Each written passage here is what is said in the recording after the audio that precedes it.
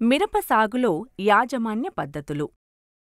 ఈ వీడియోలో మిరప సాగులో నీటిని ఏ విధంగా అందించాలి? కలుపు యాజమాన్యం ఏ విధంగా చేసుకోవాలో తెలుసుకుందాం. నీటి యాజమాన్యం. మిరప అతి సున్నితమైన పంట. అధిక తేమను అధిక బెట్టను తట్టుకొనలేదు కాబట్టి నీటి యాజమాన్యం చాలా ముఖ్యం. మిరపకు తేమ అధికమైనప్పుడు పూత రాలడంతో పాటు పంటకు తెగుళ్ళు ఆశించి దిగుబడులు తగ్గుతాయి. అదేవిధంగా పంట బెట్టకు గురైనప్పుడు పూత రాలిపోవడం కొత్త రెమ్మలు ఏర్పడడం తగ్గుతుంది. పైరుకు ఇవ్వవలసిన తడుల సంఖ్య మరియు తడుల మధ్య వ్యవధి నేల స్వభావం మరియు వాతావరణ పరిస్థితులపై ఆధారపడి ఉంటుంది. తేలిక నేలలో ఏడు నుంచి పది రోజులకు బరువు నేలలో పది నుంచి పదిహేను రోజులకు ఒకసారి నీరు ఇవ్వాలి.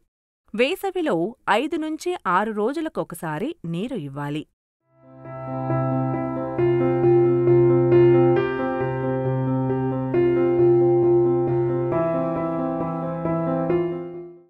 సాధారణంగా రైతులు తమ మిరప పంటకు నీటి కాలువల ద్వారా నీటిని అందిస్తారు. ఈ విధంగా నీటిని అందించేటప్పుడు నీరు అందించే రోజున మొక్కకు అవసరానికి మించి నీరు లభిస్తుంది. మరుసటి రోజు నుంచి మొక్కకు కావలసినంత నీరు లభించదు. మరోసారి నీరు అందించే వరకు మొక్క బెట్ట ప్రభావానికి లోనవుతుంది. ఇటువంటి తీవ్ర ఒత్తిడి పరిస్థితులు మొక్క ఎదుగుదలపైన దాని ప్రభావం ఉంటుంది. అంతేకాకుండా సాధారణ పద్ధతిలో మొక్కకు నీరు అందించేటప్పుడు చాలా వరకు నీరు మొక్క వేర్ల వ్యవస్థ కన్నా దిగువకు వెళ్ళి వృధా అవుతుంది. అలా నీరు వృధా అవడమే కాకుండా ఆ నీటి ప్రవాహంలో మొక్క వేరు వ్యవస్థలో దాగి ఉన్న పోషకాలను కూడా మొక్క నుంచి వేరుచేసి దిగువకు తీసుకెళ్తుంది. ఈ విధంగా మొక్క వాటి పోషకాలను నష్టపోతుంది.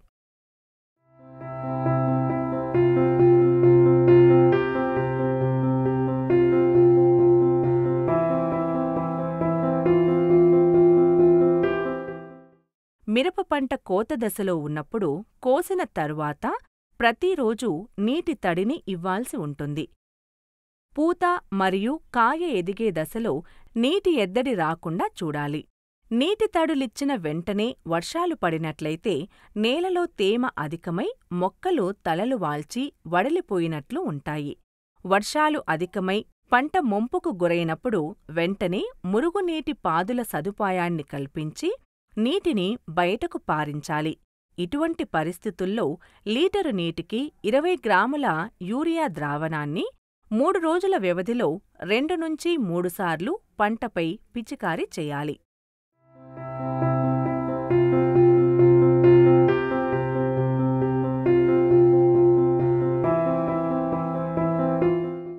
రాత్రి ఉష్ణోగ్రతలు తక్కువగా ఉన్నప్పుడు నీటి తడులు తగ్గించాలి. లేనిచో పంటకు తెగుళ్ళు అధికంగా ఆశించే ప్రమాదం ఉంటుంది.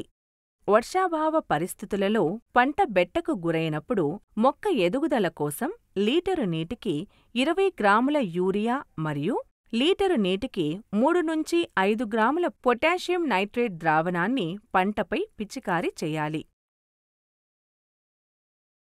బెట్ట పరిస్థితులలో రసం పీల్చే పురుగుల ఉధృతి ఎక్కువయ్యే అవకాశం ఉంటుంది. కాబట్టి తగు సస్యరక్షణా చర్యలు చేపట్టాలి.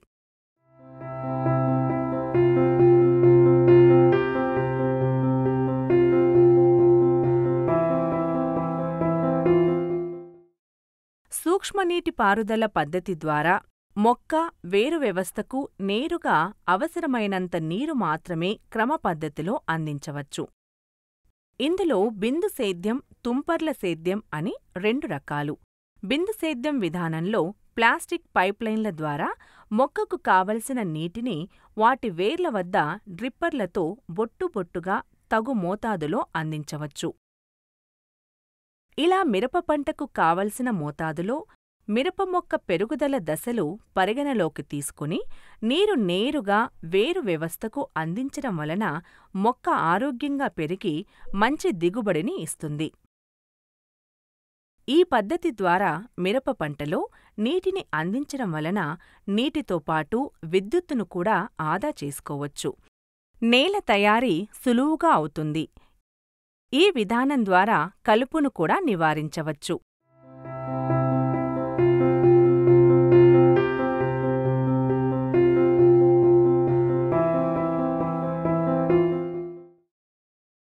సూక్ష్మనీటిపారుదల పద్ధతి వలన కలిగే ప్రయోజనాలు.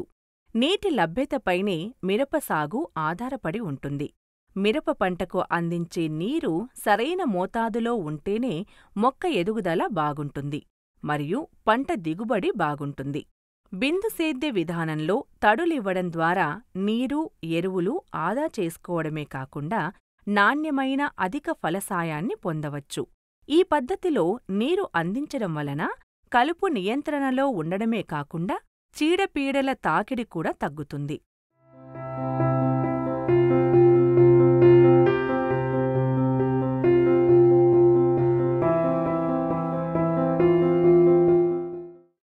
మిరప పంటకు డ్రిప్ విధానం చాలా అనువైనది. డ్రిప్ లేటరల్ పైపులను నూట ఇరవై సెంటీమీటర్లు లేదా నూట యాభై సెంటీమీటర్ల దూరంలో పరుస్తారు. డ్రిప్పర్లు యాభై సెంటీమీటర్లు లేదా అరవై సెంటీమీటర్ల దూరంలో నేల స్వభావాన్ని బట్టి అమర్చడం వలన వరుసలలోని మొక్కలన్నింటికీ నీరు అందుతుంది. ప్రతి ఎత్తుమడి మధ్యలో ఒక లేటరల్ పైపును పరచడం జరుగుతుంది. డ్రిప్ పద్ధతి ద్వారా నీటిని అందించడం వలన నీటి వృధాను తగ్గించవచ్చు. మొక్కలు నాటిన వెంటనే మూడు నుండి నాలుగు గంటల పాటు నీటి తడిని ఇవ్వాలి.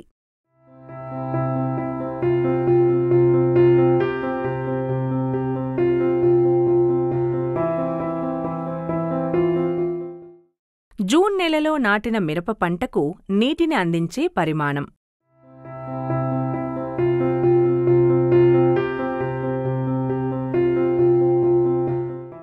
సెప్టెంబర్ నెలలో నాటిన మిరప పంటకు నీటిని అందించే పరిమాణం.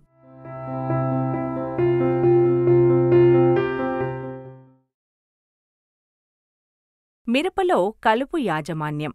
మిరప మొక్కలు నాటిన పదిహేను నుండి ఇరవై రోజుల వ్యవధితో అంతరకృషి చేయడం ద్వారా కలుపు నివారణ చేసుకోవాలి. మిరప నాటిన పొలంలో అరవై రోజుల వరకు యథ పద్ధతిలో విత్తిన పంటకు తొంభై రోజుల వరకు కలుపు లేకుండా చూసుకోవాలి. కలుపు నివారించడానికి కలుపు మందులు కూడా వాడవచ్చు.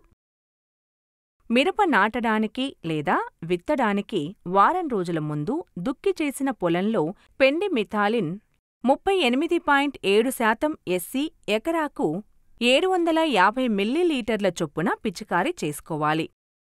నిరంతర వర్షాల కారణంగా మిరప పంట కలుపు మొక్కల బారిన పడినట్లయితే క్విజాలోఫాప్ ఇథైల్ ఎకరాకు నాలుగు వందల మిల్లీలీటర్ల చొప్పున పిచికారీ చేసుకోవాలి.